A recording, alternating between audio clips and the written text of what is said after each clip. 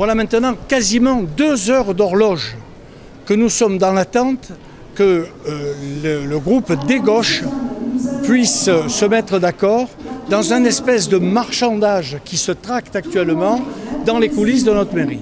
Est-ce que c'est ça la démocratie? Est-ce que c'est ça celles et ceux qui se prétendent être en capacité de diriger cette ville? Le jour même du conseil municipal, de ne pas être d'accord, de ne pas avoir su s'entendre et de continuer d'ailleurs à débattre entre eux pour savoir qui sera le candidat dans cette ville, quels accords pourront-ils faire, qu'est-ce qu'ils pourront donner. C'est dans l'impréparation. Je vous rappelle que nous avons eu trois mois entre le premier et le second tour.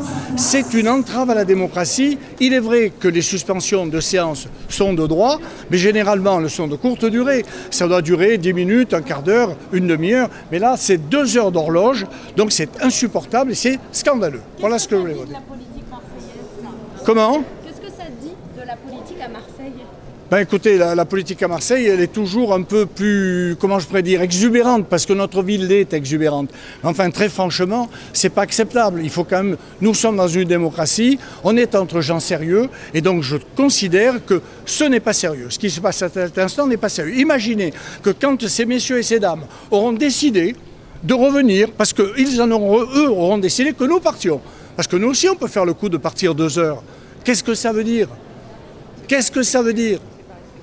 Voilà, c'est irrespectueux, c'est contre la démocratie. Et je vous signale d'ailleurs que ce matin, des élus de ma famille politique, de mon groupe, se, se sont fait agresser, insulter, asperger.